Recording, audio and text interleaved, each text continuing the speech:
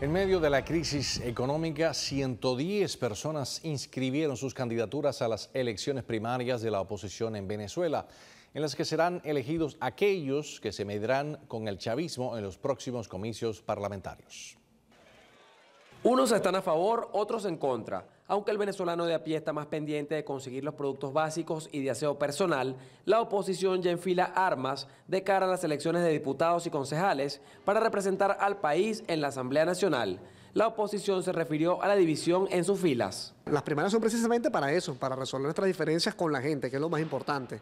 Que la gente sea la que decida y tenga la, la, decisión sobre quiénes son los que van a representar a la oposición democrática en la lucha contra el gobierno nacional.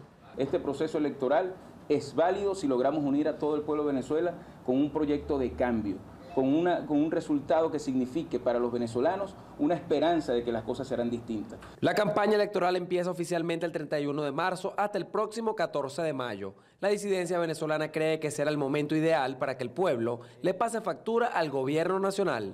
No tengo la menor duda que no habrá forma de que este gobierno pueda desmoralizar o pueda inhibir al todo el pueblo de Venezuela cuando salga a votar y a participar. Y cuando aquí el gobierno anda temeroso de sanciones internacionales.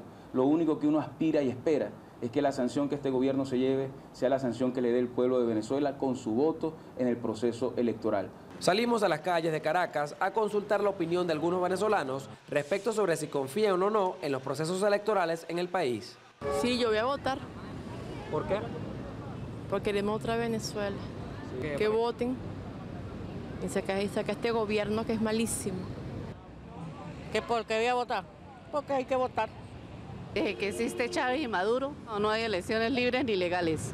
Bueno, a, esta, a estas alturas todavía no sé si se vota o no por la desconfianza. Distintos partidos políticos exhortaron al Gobierno Nacional y al Consejo Nacional Electoral a que defina cuanto antes la fecha para las elecciones legislativas. Entre tanto, la oposición de este país definió para el 17 de mayo la elección de sus candidatos. Desde Caracas, Venezuela, David Mateis, Martín Noticias.